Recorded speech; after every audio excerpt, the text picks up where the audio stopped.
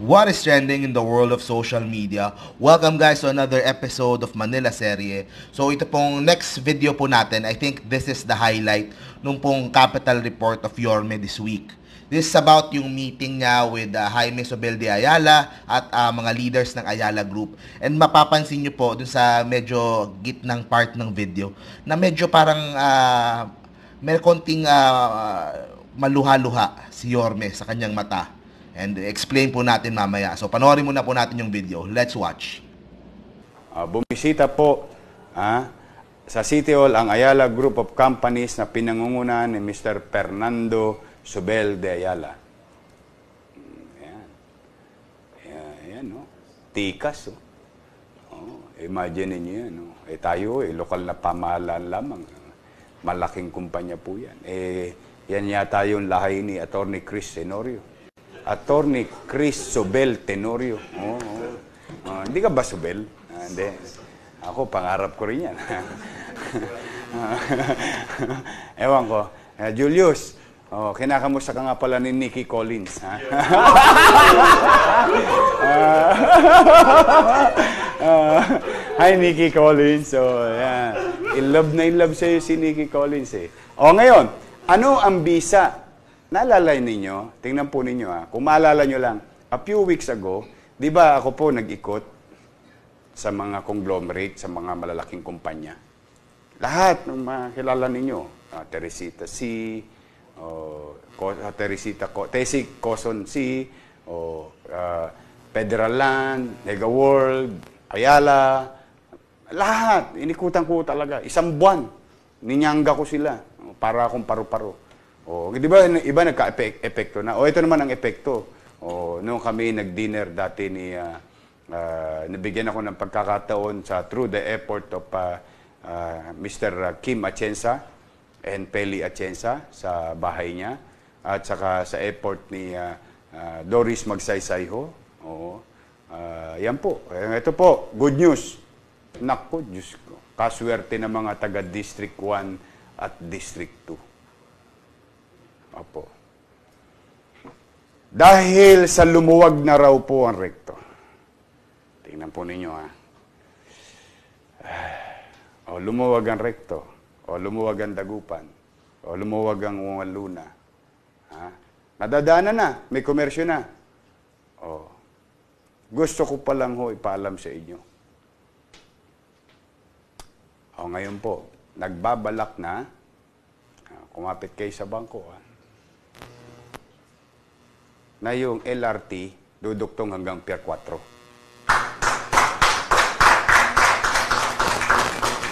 Yung sa recto?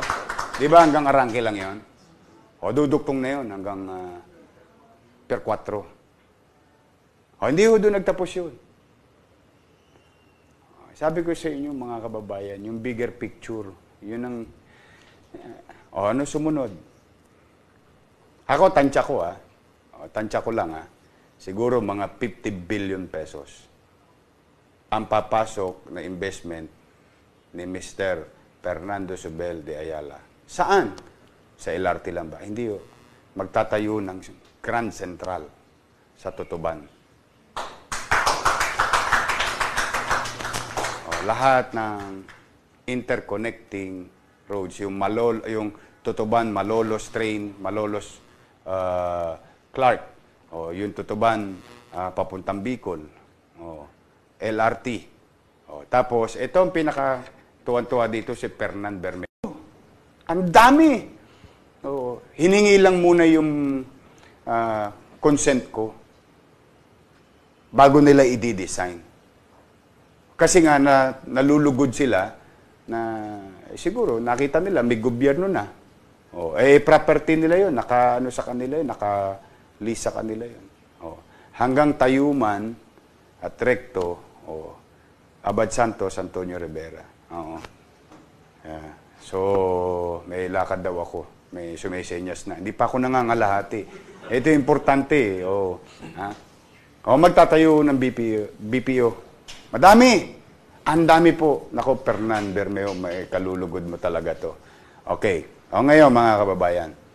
O, bago naman ako umuo, Ah, bago naman ako umuo, Ah, sabi ko, Mr. ah, Subel, ah, pwede ba makisuyo? Kasama yung mga presidente ng Ayala Group of Companies, ha? Oh, pwede ba ako makisuyo? Oh, sige, papayagan natin. Tutulungan namin kayo. Develop niyo yan. Maraming salamat. Pinagkakatiwalaan niyo muli ang Maynila. O pwede ba ako mag-request?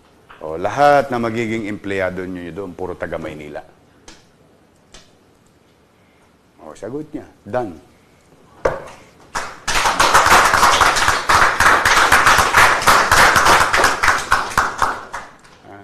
Nakakatuwa ho kasi, oo, hindi yan mangyayari bukas. Hindi agad-agaran. Pero mawawala na tayo sa posisyon na to, sa upuan na to, pagkikinabangan pa ng mga tagalungsod. Eh di ho ba ganun ang paggogobyerno? Merong immediate, medium, and long-term plan. O yan po. Eh nakita nyo, eh, develop yun. Ang ganda. Diyos ko, eh kalulugod ninyo. Kaya sa iba pa dyan, ng mga kumpanya, oh, welcome kayo lagi. Eh, we can give some stimulus uh, package uh, as long as you generate jobs uh, for the people of Manila. Uh, maraming maraming salamat ha, Mr. Fernando Sobel de Ayala. Ang ganda sana, Attorney Chris Tenorio Sobel de Ayala. Uh, uh, ala, namali ka.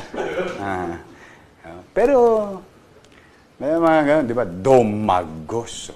Ah. Tulog mayaman eh. No? I would always say, so from four months na, ina, na, na pinapanood ko araw-araw si Mayor Isko sa mga iba't ibang speech niya, sa mga iba't ibang ah, mga proyekto na ginagawa niya, iba po yung kurot sa puso ni Mayor Isko kapag ang pinag-uusapan na po ay tondo. Kung saan po siya lumaki, kung saan po siya naghirap, kung saan po siya ah, nag-aral, kasama po ng mga kababata niya, mga kaklase niya. Kapag tundo po ang pinag-uusapan, kapag kapakanan po ng tundo, ang ang topic po nung kanyang speech o yung proyekto, eh parang medyo may konting ah, basa sa mata ni Yorme.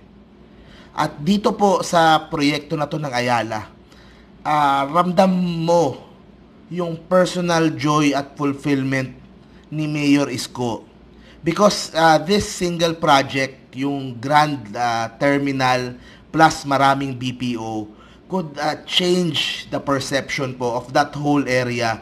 Yung buong Divisoria, ah, Binondo, Tondo area na yan that could really spark so much change for that area.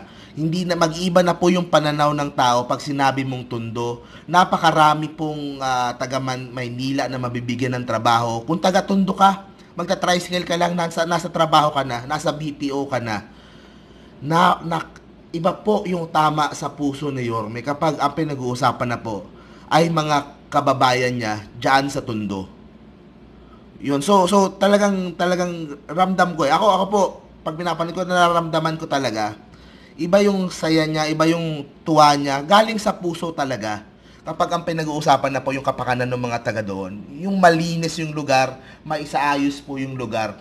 And he knows, he knows po na kung mas, mat- mangyari po ito, kung matuloy po yung mga plano lahat ng Ayala Group na to, this will be one of his biggest legacies na maisaayos po yung pong area na yan ng Divisoria Tondo. Ah, na in four months he was able to get the confidence of big business groups para po mag-invest ng ganyan dyan, para po ayusin lahat dyan. So yung sa mga nagdududa pa po sa mga action ni Mayor Isko, yan po ang pruweba. Napaka malaking conglomerate, pinakamalaki yata conglomerate sa bansa o top 5 na pinakamalaki sa bansa na po ang nagsasabi na maganda po ang ginagawa ni Yorme Isko. Maganda po ang kanyang direksyon. Naniniwala kami and dahil dyan mag invest kami ng bilyong, bilyon, bilyong peso, pesos para po ayusin yung lugar na yan. Bigyan ng trabaho yung mga syudad na yan at ah, gawing sentro ng komersyo muli yung lugar na yan. Alam naman po natin yung power of Ayala sa Makati, sa BGC, ngayon po dyan sa may FTI. Lahat po ng hawakan nila, nagiging central business district, nagiging sentro ng komersyo sa bansa. So, the Ayalas are back in business in Manila. So, nakakataba po. I want to do siguro a further further uh, report regarding this. Pero sa ngayon po, that is my initial reaction. Nakakataba po ng puso. And of all places, District 1, District 2, Tondo. Kaya iba po ang tama kay sa puso ni Yorme. So yun, exciting news. Me, ito yung highlight ng Capital Report this week. Kasi nakita mo talaga sa expression ng muka ni Mayor Isko. So yun guys, uh, we'll be doing a lot more videos po. Abangan nyo lang po. So we'll be posting more. Thank you very much. See you po sa next video, Pilipinas. God first.